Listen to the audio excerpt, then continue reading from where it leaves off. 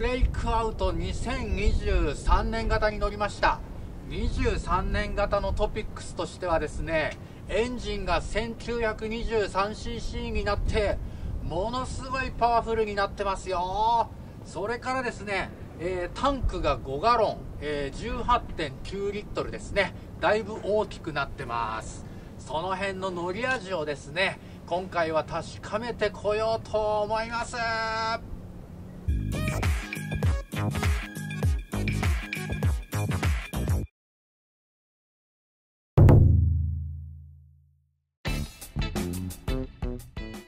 まず車体を見ていきましょう。ローロングの車体にフロント21インチの台形ホイール。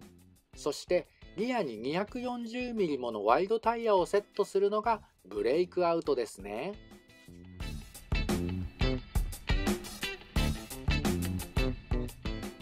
初代は2013年モデル CVO でデビューしましたから2023年モデルは10周年のアニバーサリーでもあったわけです。ブレイクアウトが刷新されるであろうと僕は読んでいました。ウィズ・ハーレーで大胆予想としてイメージ CG をお見せしましたがエンジンがミルウォーキー8117 1923cc 化されるという点は正解となりました。むき出しになったエルボー型のフィルターエレメントがより多くのフレッシュエアーをシリンダーに送り込むハイパフォーマンスのヘビーブリーザーインテークです。太いトルクを発生させつつその佇まいもたまりません。シートにまたがると邪魔になるのではないかと思いますが足は当たらないように配慮されているのですね。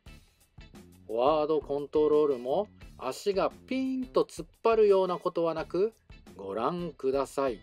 余裕を持って膝が曲がってフォアコンながらステップは決して遠くはありません。今回高速道路市街地さまざまなシーンで乗ってみましたが排気量アップは速度レンジが上がってからの追い越し加速などで余裕をもたらしますね。そしてオートクルーズコントロールも新たに備えたことも見逃せません。時速 100km でトップ6速で流すとデジタルタコメーターは2250回転を示します。よりゆったりと高速を流せる感覚でした。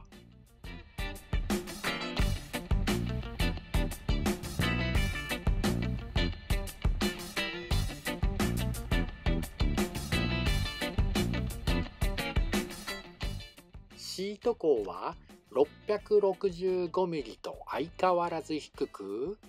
身長175センチの僕がまたがると両足かかとまでべったりと届きます。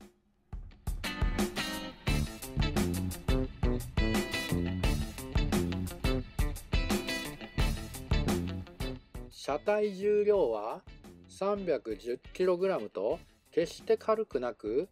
どちらかといえばヘビー級ですが足が地面にしっかり届くから踏ん張りが効いて取り回しもさほど苦労しません。新型はガソリンタンク容量を5ガロンおよそ19リットルに容量をアップしています。従来型は13.2リットルでしたから5.7リットル増し。航続距離が100キロほど伸びておりまして新型のオーナーはツーリングでこの恩恵を強く感じるはずでしょう。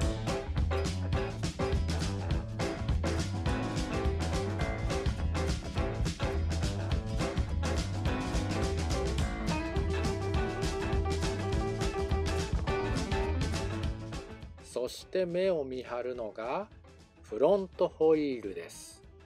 26本のスポークが切削加工され美しい仕上がりを見せています。これがノーマル新車から備わっているのですからお得感さえあります。車体価格はベーシックとなるビビットブラックで326万4800円。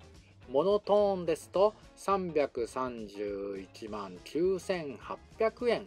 ツートーンの設定はなくモノトーンにはブラックデニム艶消しの黒ですよね。それとニューカラーであるバハオレンジ。オレンジはご存知の通りハーレーのブランドカラーですよね。それとアトラスシルバーメタリックも選べます。この色も似合っていると思います。